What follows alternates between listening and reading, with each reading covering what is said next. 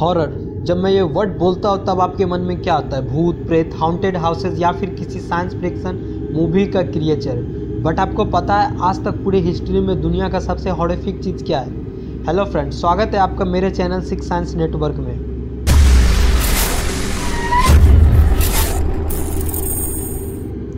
एक ऐसी horrific story है जिसे दुनिया आज भी याद करती है तो दुनिया के रोंगटे खड़े हो जाते हैं। द चर्नोबिल इंसिडेंट इस दुनिया में हर एक जीव, हर एक एलिमेंट, हर एक प्लानट इंटायर मैटर से बना है, परमाणु से। हर एक एटम में एनर्जी होता है। उस एटम में एनर्जी बहुत ही ज़्यादा इनक्रेडिबल अमाउंट ऑफ़ कंटेन करता है।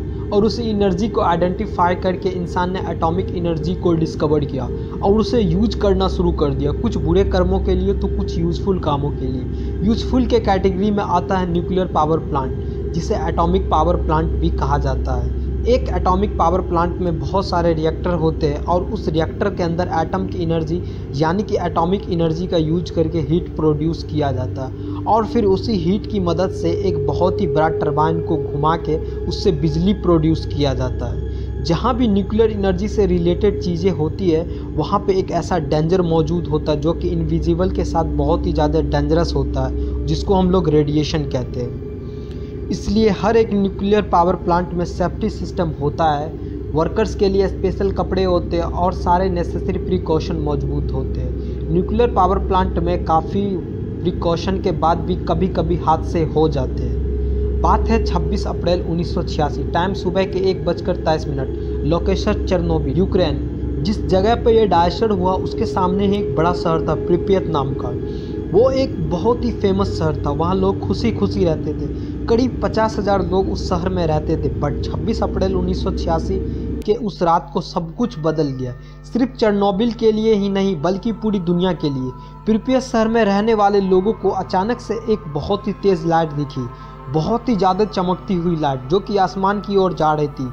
लोगों को लगा ये नॉर्मल सा फैक्ट्री में आग लगने वाला इंसिडेंट होगा, और उस एरिया के सारे लोग उस इंसिडेंट को एक ब्रिज पे खड़े होकर देखने लगे। बच्चे, बूढ़े, जवान, औरत, सब कोई, सब वहाँ पे यही बात डिस्कस कर रहे थे, आखिर वहाँ पे हुआ क्या? इस बात से अनजान कि रेडियो एक्टिव कने उनके शरीर को चीरते हुआ उनके बॉडी के अंदर सेल्स में कैंसर पैदा कर रहे थे। वो ब्लास्ट इतना पावरफुल था वो कुछ ही सेकेंड्स में चरनोबिल और उसके आसपास के पूरे शहर में रेडियो एक्टिव डस्ट को फैला दिया। सिर्फ़ पास के शहरों और इलाकों में ही नहीं, बल्कि जहाँ पे प्लांट था, उसके 30 किलोमीटर के रेडियस के अंदर वो dangerous invisible radioactive particles फैल गया। और ये सब हुआ था एक गलती के चलते। कुछ देर पहले उसी रात को चरनोबिल के साइंटिस्ट उस न्यूक्लियर पावर प्लांट के अंदर सेफ्टी टेस्ट कर रहे थे। इस घटना को आप गलती भी कह सकते या फिर लापरवाही भी, क्योंकि एनाटोली डैबलॉब उस रात उस टेस्टिंग वर्क को सुपरवाइज कर रहे थे। वो कुछ इम्पोर्टेंट प्रोटोकॉल को फॉलो नहीं किए थे। न्यूक्लियर पावर प्लांट में कुछ भी करने के लिए एक hard core set of rules होते हैं। उन्हीं रूल्स को उन्होंने नज़रअंदाज कर दिया। फिर उसी गलती के चलते अचानक से उस रिएक्टर का पावर बढ़ने लगा। अचानक से हेवी पावर शवरेज होने लगा। न्यूक्लियर प्लांट के अंदर जो फ्यूल रोड्स होते हैं, जो कि मैन प्रोसेस के दौरान गर्म हो जाते हैं, वो बहुत ही ज़्यादा गर्म हो गया। इवेंचुअली साइंटिस्ट ने जल्दी से उसको पानी में डालकर ठंडा करना चाहा। बट वो फ्यूल रोड्स इतने गर्म हो चुके कि पूरा का पूरा पानी का टैंक एक सेकंड में भाप बनकर उड़ गया। स्टीम और हीट का एक इमेंस बिल्डअप बन गया। फाइनली वो फोर्थ न्यूक्लियर रिएक्टर एक्सप्लोड कर गया और उस रिएक्टर का जो मेन पार्ट था कोर वो इतनी तेज़ी से ब्लास्ट हुआ, वो एक्सप्लोड होने के बाद आठ टन रेडियो एक्टिव पार्टिकल्स को हवा में रिलीज़ कर दिया। उस रेडियो एक्टिव क्लाउड की जो टॉक्सिसिटी थी, जो जहरीलापन था, वो जापान के हिरोशिमा इंसिडेंट से लगभग 400 गुना ज़्यादा थी। सिर्फ़ इस न्यूक्लियर पावर प्लांट के फटने के चलते चरनोबिल के सबसे नियरेस्ट सिटी प्रिपेत में इस इंसिडेंट के बाद वहाँ के सभी लोगों को शहर छोड़ना पड़ा। और प्रिपेत नामक ये शहर आज भी पूरी तरह से खाली है। गूगल पे जाकर अगर आप प्रिपेत शहर का पॉपुलेशन देखेंगे तो वहाँ पे ज़ीरो दिखाएगा। वहाँ पे बहुत ऐसी चीज़ है जो कि सालों से अनटच्ड है। ऐसा मानो कि जमा हुआ है। एक फ्रोजन जगह की तरह।